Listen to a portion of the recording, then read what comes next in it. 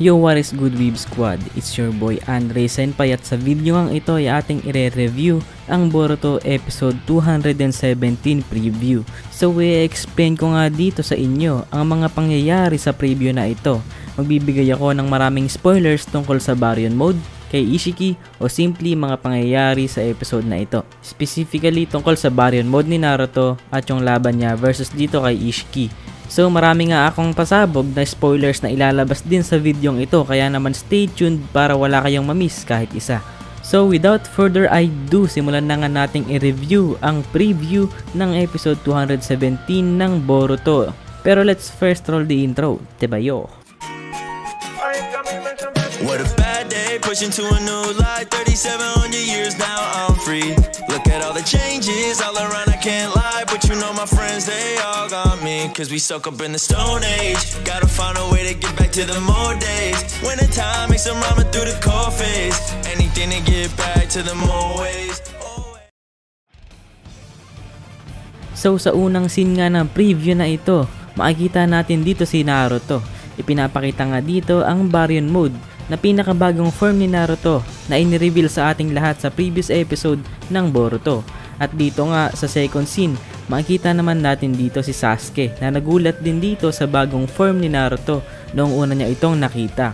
Siguro medyo bumalik dito yung pagiging jealous o inggit ni Sasuke sa moment na ito. Pero well, hindi naman inggit kumbaga ano lang, competitive spirit lang nitong si Sasuke yung bumalik.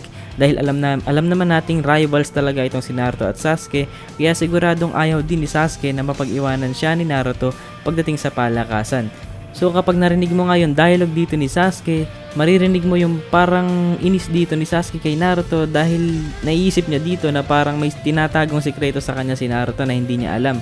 At ito nga yung Baryon Mode. Pero ang totoo dyan eh hindi rin ito alam ni Naruto na may ganito pala siyang kakayahan. So hindi nga din alam ni Sasuke kung ano yung binabalak ngayon ni Naruto sa laban na ito. Pero kung makikita mo talaga sa nagaganap na labanan dito kay Naruto, kay Ishiki, talagang makikita mo na gusto ni Naruto na makipaglaban ng one-on-one dito kay Ishiki. At sobrang risky nga ng ginagawa dito ni Naruto dahil kapag nag-fail nga yung attempt dito ni Naruto na pigilan si Ishiki, eh siguradong ito na nga yung magiging katapusan ng Konoha at mga naninirahan dito. So kung makikita nga rin natin sa scene dito guys, eh makikita natin dito si Sasuke na naka-activate yung kanyang Sharingan. Dahil pinapanood nga niya yung laban ni Naruto at Ishiki na sa sobrang bilis eh mala Dragon Ball na nga yung fight scene dito. At in fact, eh hirap na hirap pa nga makapag-observe dito si Sasuke kahit mayroon pa siyang Sharingan dahil sobrang bilis nga na mga pangyayari sa laban na ito na kahit yung Eternal Mangekyo Sharingan ni Sasuke na pinakamalakas na Sharingan sa lahat eh hindi kayang masundan yung mga galaw na ginagawa ni Naruto at Ishiki, especially kay Naruto dahil sobrang bilis nga ng Baryon Mode. So next scene makikita naman natin dito si Boruto na hirap na hirap na sa sakit na kanyang dinadanas, dala ng kanyang baling braso at barag-barag na ribs. At ito nga ay kagagawa ni Ishiki sa last episode. So dito nga guys ay makikita nga natin na medyo nagulat din dito si Boruto dahil first time niyang nakita na may ganito palang tinatagong mode o form itong si Naruto na kanyang ama. And sa next scene nga ay makikita naman natin dito na binira nga ni Naruto si Ishiki at nagawa pa nga niyang patalsikin si Ishiki dito. At mayroon nga ding dialogue dito si Ishiki at makikita nga natin na gulat na gulat din itong si Ishiki dahil hindi nga niya inakala na mayroon pa palang alas na tinatago itong si Naruto na may potensyal na mapigilan siya. Pero sinabi naman dito ni Ishiki na kahit ano daw yung mangyari eh siya pa din daw yung mananalo sa labanan na ito. Then sa next frames nga ng preview na ito makikita natin dito yung matinding animation na binuhos ng Boruto team para sa episode na ito.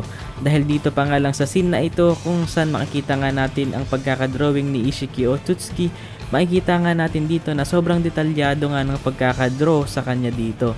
Higit na mas detalyado kumpara sa mga previous episode. Ganito yung pagkakadraw talaga ni Ishiki sa manga at nagawa nilang ma-adapt ito ng maayos sa anime. Ito talaga yung gusto kong makita dito. Then sa next frames nga ay eh, makikita naman natin dito si Boruto at Sasuke na tamang Netflix and chill lang dito sa laban ni Ishiki at Boruto. Dahil sa sitwasyon nga na ito, eh ito lang talaga yung tanging magagawa nilang dalawa sa laban na ito dahil imposible nga na matulungan nila itong si Naruto sa laban na ito sa ngayon.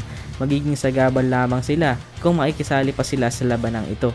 At sa next scene nga, eh makita naman natin dito si Ishiki na atakihin si Naruto at tulad nga ng sinabi ko kanina sa episode na ito ay sobrang tindi ng animation na ibinigay ng Boruto team para sa episode na ito. Kaya ina na-appreciate ko talaga guys yung ganda ng pagkaka-animate sa scene na ito. Makikita mo talaga yung matinding design dito para kay Ishiki Otsutsuki at makikita din natin yung expression dito ni Ishiki na na-adapt nila ng maayos.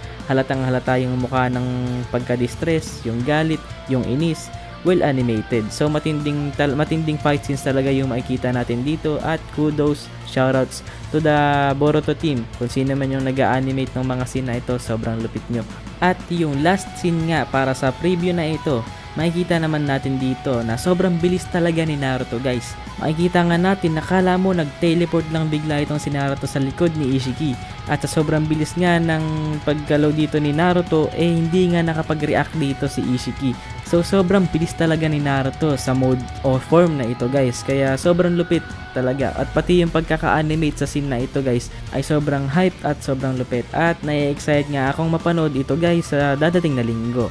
So guys, medyo konti nga yung spoilers na nakita natin sa preview na iyan. Kaya naman magdadagdag ako ng spoilers guys.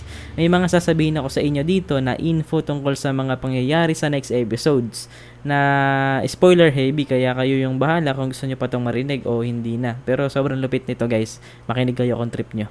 Pero bago nga tayo magpatuloy, gusto ko munang i-remind kayo guys na 29.3% lamang ng ating channel viewers ang subscribe sa ating channel. So kayo dyan, nanonood kayo, kung nag enjoy naman kayo sa mga videos nyong pinapanood mula dito sa ating channel, please mag-subscribe na kayo para kahit papano ay makatulong naman kayong lumago ang ating channel community ng mga Naruto at Boruto dito sa Pilipinas. At wag nyo na din kalimutang i-like yung ating video upang mas maipush pa ito ni Tito YouTube at mas madami pa yung makanood nito. So balik nga tayo. So ang unang spoiler ang Baryon mode ni Naruto ay may kakayahan na i-absorb ang life force ng ano o kahit sinong makontak ng user nito physically. Kaya naman sa laban na ito, kada suntok, kada sipa ni Naruto at kada tama nito kay Ishiki na makita natin sa episode 217 ng Boruto, unti-unti nitong pag-iiksiin ang natitirang buhay ni Ishiki na less than 3 to 4 days na lamang nga.